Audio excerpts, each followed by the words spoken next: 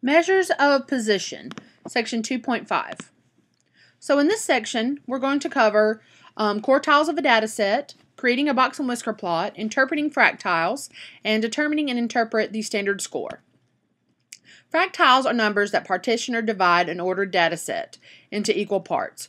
Quartiles are a type of fractiles. They divide a set into four equal parts. That is going to be the most important fractile that we are going to cover right now. First quartile is called Q1, and about one quarter of the data fall below Q1. The second quartile is Q2. It is also the median of our data set, and half of the data falls below falls on or below Q2. The third quartile, about three quarters of the data, fall on or below Q3. So, some other percentiles and fractiles. Quartiles, like I said, into four equal parts. Deciles into 10 equal parts. And another thing that we'll use in this course a lot, which are percentiles, divide something into well, data specifically, 100 equal parts. So, for an example, the test scores of 15 employees enrolled in a CPR training course are listed. Find the first, second, and third quartiles of the test scores. First things first, we're going to have to order the data just to find the median. We've already covered finding the median, so I'm not going to cover that again. But how to find the median right here is Q2. So that means below the median is the lower half of our data, and above the median is the upper half of our data. If we now want to find Q1 and Q3, we simply find the median of both halves. So we find the median of the lower half and the median of the upper half. This is if you want to do it by hand. We are going to use Excel to do this for us. So I've already put the data into Excel, so I'm going to go to Excel right here, and I'm going to type in Q1, Q2, and Q3. Over here, I'm going to go to, I'm going to hit equals. I'm going to type in quartile, Q-U-A-R-T-I-L-E, and then put in my parenthesis. Then I'm going to insert my data by highlighting my data from A2 to A16 and close my parenthesis. Now there's one thing I forgot to do right there is to tell Excel which quartile we are talking about. So I'm going to have to put a comma and a 1 and that tells Excel to find the first quartile. And in our case it's 10.5.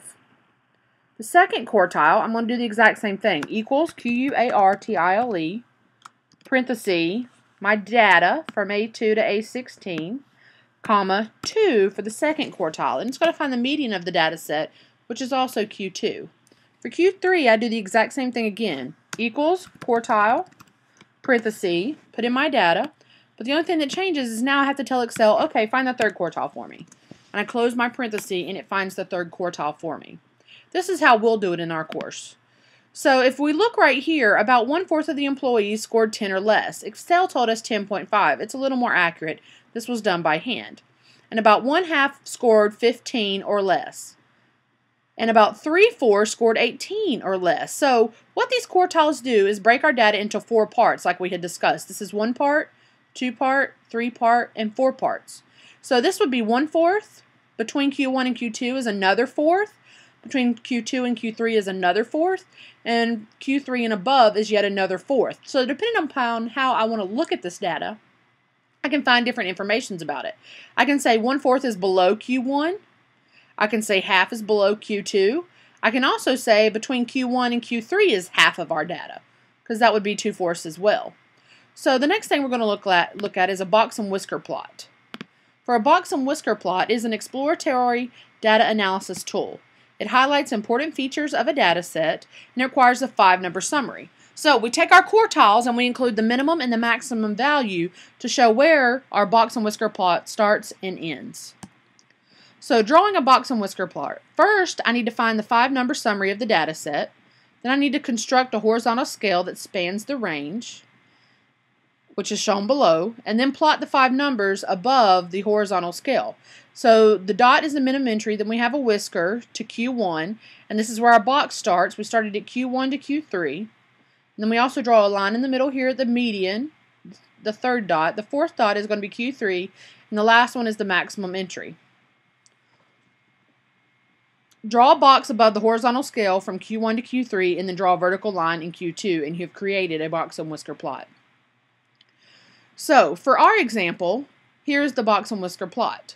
About half of the scores are between 10 and 18. I had discussed that earlier, but we know that this is one fourth, one fourth, one fourth, and one fourth, so I can use these two fourths to say half is in here. So notice my minimum value is 5, Q1 is 10, Q2 is 15, Q3 is 18, and the max is 37. So I simply draw a whisker from 5 to 10, a line continuing from 10 to 15, another line continuing from 15 to 18, and then a whisker from 18 to 37. And then I draw a box from Q1 to Q3, or in our case, 10 to 18. I also want a vertical line at 10, and this gives me a lot of information about our data set, much more than just the data arranged in numerical form. So, interpreting percentiles. The ogive represents the cumulative frequency distribution for SAT test scores of college-bound students in a recent year. What test score represents the 72nd percentile? So I go over here on the left, the y-axis, and go up to 72nd. And then I would trace that all the way to the ogive over here until I hit it. And then once I hit it, I'll notice that I'm about 1700. Therefore, 72% corresponds to a test score of 1700. That means 72% of the students that took the SAT scored of or less than 1700. Now, we can't compare the SAT scores of all students because some took the SAT out of 1600 and some took it out of 2400, and there's probably even more variations upon that.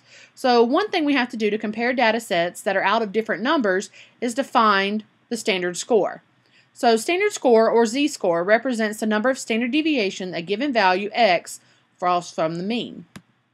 So, to find the standard score, we're going to have z equals our value minus our mean divided by our standard deviation.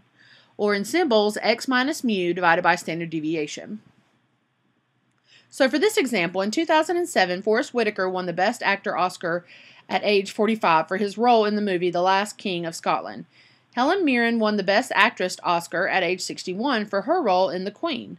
The mean age of all Best Actor winners is 43.7 with a standard deviation of 8.8. The mean age of all Best Actress winners is 36 with a standard deviation of 11.5. Find the z-scores that correspond to the age for each actor or actress, then compare your results. So, since Forest Whitaker is 45 and the mean for actors is 43.7, we can't just simply compare them without finding the standard score since Helen's 61, but the mean average in her set is 36. Very different. So for Forest Whitaker, we're going to take his data, his age, 45, minus the mean, 43.7, and divided by 8.8. That equals 0.15 standard deviations above the mean. The closer to the mean, the better for z-scores. Helen Mirren is 61 minus 36 divided by 11.5, therefore 2.17 standard deviations above the mean. She is definitely older in her field than Forest Whitaker is in his field because she's 2.17 standard deviations above the mean. So if we compare them, you would see that he, Forest Whitaker, falls within 15 in the usual scores of his age. Now, Helen falls in out of two standard deviations, so she's in the unusual age for winning the Best Actress. And if someone falls without beyond three, is very unusual scores. So she is relatively older, whereas the age of Forest Whitaker is only slightly higher than the average age of other Best Actor winners. And so that's it for 2.5. And um, that's it.